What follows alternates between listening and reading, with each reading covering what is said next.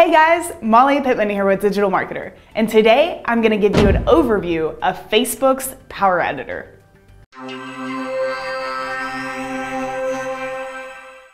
Guys, so we're inside of the Ads Manager right now. I'm going to show you exactly how to get to Power Editor and a few tips and tricks uh, that, that we use with Power Editor every day to create the best Facebook campaigns. So you're going to find Power Editor in the left-hand panel here with inside of the Ads Manager. You're going to want to make sure that you're in Chrome. Power Editor only works within Chrome, so that's really important to keep in mind. You're also always going to want to hit this download to Power Editor button and then download every time you log into Power Editor. This makes sure that Power Editor syncs with Ads Manager and has the most up-to-date information about your Facebook ad account.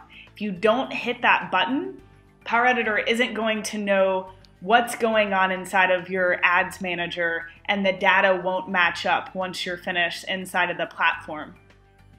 A few things you can do. If you click up here, you can do go to your account number Inside of Power Editor, you can duplicate ads, ad sets, or campaigns. So if you were to create an ad set for a certain targeting group, all you would need to do is duplicate that ad set and change the targeting to set up all of the testing in terms of images and ad copy.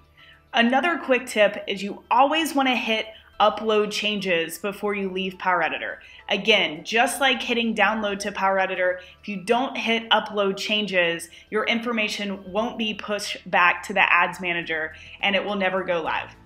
Would you like a shortcut to creating successful Facebook advertising campaigns that generate more leads and sales for your business?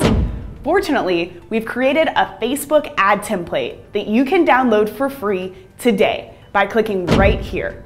Also, be sure to subscribe to our YouTube channel for more helpful videos just like this one. I'm Molly Pittman with Digital Marketer, and thanks for watching.